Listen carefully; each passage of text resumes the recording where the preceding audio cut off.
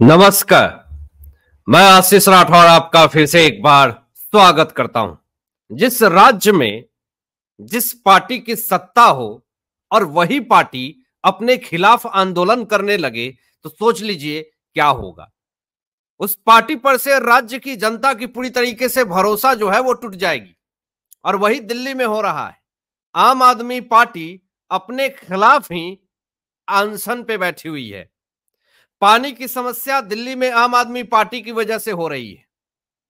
और अनशन कर रहे हैं ये पानी की समस्या को लेकर के, यानी अपनी सरकार और अपनी सरकार के खिलाफ ही ये अनशन कर रहे हैं। इसको लेकर के एक बड़ी लहर जो है, वो आ गई है सामने। और आम आदमी पार्टी के ऊपर एक बहुत बड़ा सिकंजा कस चुका है। दिल्ली हाईकोर्ट में दोस्तों, जिरह चली और जिरह चलते चलते दिल्ली हाईकोर्ट ने एक बहुत बड़ा एक्शन ले लिया और एक ऐसी बात कह दी जिससे कि पूरी आम आदमी पार्टी बौखला गई। देखिए, पानी की समस्या दिल्ली में बहुत ज़्यादा समस्याओं से दिल्ली की जनता गुजर रही है। अब इसको लेकर के इस पे पॉलिटिक्स बीजेपी नहीं कर रही है, आम आदमी पार्टी कर रही है। पानी की समस्या को ये खत्म नहीं कर पा रहे हैं, लेकिन इस पे पॉलिटिक्स ज़रूर कर रहे हैं। अब यहाँ पर दिल्ली हाईकोर्ट में जो राउज एवेन्यू कोर्ट के जमानत देने वाले जो फैसले थे, राउज एवेन्यू कोर्ट की वैकेशन बेंच न्याय बिंदु जी ने जो जमानत दे दिया, बिना अरविंद केजरीवाल की फ़ाइल पढ़े हुए तो जमानत की रोक की अपील को लेकर के, जमानत को चुनौती देने के लिए Delhi high court S B Raju पहुँच गए और उसी में से जो हाईकोर्ट का तगड़ा एक्शन और तगड़ा फैसला जो आया इससे अरविंद केजरीवाल की बौखलाहट जो है वो बढ़ गई है। जरा देखिए, पहले आपको अपडेट दे देते हैं कि खबर क्या आ रही है। अरविंद केजरीवाल को जेल से नहीं निकलने देना चाहती है ईडी, ऐसा आरोप लगाया जा रहा। लेकिन मैं आपको क्लियर कर दूँ कि ऐसा कोई मामला नहीं है कि इन्फोर्समेंट डायरेक्टरेट चाहेगी कि अरविंद केजरीवाल जेल से नहीं निकले। जब सुप्रीम कोर्ट ने अंतरिम राहत दिया था प्रचार प्रसार करने के लिए ही आम आदमी पार्टी के संयोजक को तो क्या इन्फोर्समेंट डायरेक्टरेट ने विरोध किया? संजय सिंह को जब सुप्रीम कोर्ट ने जमानत दे दिया तो क्या इन्फोर्समेंट डायरेक्टरेट ने उस वक्त विरोध किया? सहमति जता दी कि ठीक है संजय सिंह को आप जमानत दे दीजिए। लेकिन जो मेन सस्पेक्ट हो किंगपिन हो मास्टरमाइंड हो, जो इस केस का मुख्य करता धरता हो, अगर उसको जमानत देने की बात अगर सामने आएगी तो इन्फोर्समेंट डायरेक्टरेट का अधिकार है कि वो इसका विरोध करे।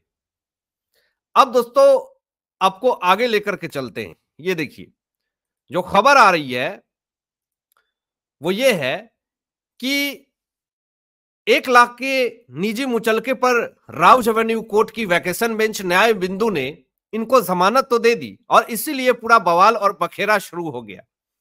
जमानत का फैसला जब जज न्याय बिंदु ने सुनाया तो ईडी ने न्याय बिंदु से गुजारिश की कि बेल बॉन्ड स्वीकार करने के लिए 48 घंटे का समय दिया जाए, ताकि इस बीच अदालत में फैसले को चुनौती दी जा सके। लेकिन ऐसी क्या जल्दबाजी थी? राव एवेन्यू कोर्ट की वैकेशन बेंच के जज न्याय बिंदु जी का कि उन्होंने 48 घंटे का स्टे भी नहीं लगाया और जमानत दे दी। हालाँकि बेल बॉन्ड पे साइन नहीं हुआ था, नहीं तो मामला कुछ और ही हो जाता। तो देखिए, कोर्ट ने ईडी की इस अपील को ठुकरा दिया और अरविंद केजरीवाल की रिहाई का रास्ता साफ़ कर दिया। और इसीलिए पूरा मामला जो है वो धधक रहा है। अब जरा देखिए, जो ये खबर थी कि उनके बेल का पूरी तरीके से जो है वो विरोध ना करे, ये आम आदमी पार्टी का दोस्तों कहना है। अब मुझे आप ये बताइए कि किसी मामले में कोई आरोपी है और उस आरोप के मामले में उस एजेंसी ने पुख्ता सबूत इकट्ठे किए हैं और कोर्ट में सबमिट भी किया है और उस पर न्यायिक मुहर भी लगी है। तो आप कैसे कह सकते हैं कि आप विरोध ना कीजिए? विरोध करना इन्फोर्समेंट डायरेक्टरेट का तो अधिकार है और उस पर से भी वो सरकारी वकील हैं। तो फिर आप ये किस आधार पे बात कर रहे हैं कि विरोध नहीं कीजिए? और बहुत ही शालीनता से बातें रखिए। शालीनता से तो बातें एस बी राजू जी रख ही रहे थे। लेकिन उनको उकसाया जा रहा था। लेकिन उसका कोई फ़ायदा नहीं है। अब देखिए दोस्तों, जो मैं चीज़ें दिखा रहा हूँ, जरा देखिए। यहाँ पर अरविंद केजरीवाल को लेकर के आम आदमी पार्टी का कहना है कि गिरफ्तारी के बाद से अरविंद केजरीवाल का आठ किलो वज़न जो है, वो कम हो गया है। सबसे पहले तो इस खबर पे मैं आपको बता दूँ दोस्तों कि जिनको कोलेस्ट्रॉल का प्रॉब्लम है, जिनको मोटापे का प्रॉब्लम है तो अरविंद केजरीवाल के हिसाब से आप जेल में चले जाइए, आपका वज़न घट जाएगा। इनके कथनानुसार लेकिन तिहाड़ जेल की मेडिकल रिपोर्ट भी ये कहती है, जेल प्रशासन भी ये कहती है कि अरविंद केजरीवाल का वज़न तिहाड़ जेल में घटा नहीं, एक किलो बढ़ गया है। तो ये वज़न के ऊपर किस तरीके से राजनीति और सियासत किया जा रहा है, ये मामला है। अब देखिए यहाँ पर, प्रवीण शंकर कपूर जो कि भाजपा के प्रवक्ता हैं, वो चीज़ बताने से पहले मैं आपको बता दूँ कि जिस तरीके से पॉलिटिक्स जारी हो रही है, जिस तरीके से मामला हाईकोर्ट तक पहुँचा है। अब हाईकोर्ट जो है, इस मामले पे पूरी तरीके से एक्शन लेने को लेकर के स्टेटमेंट दे चुकी है।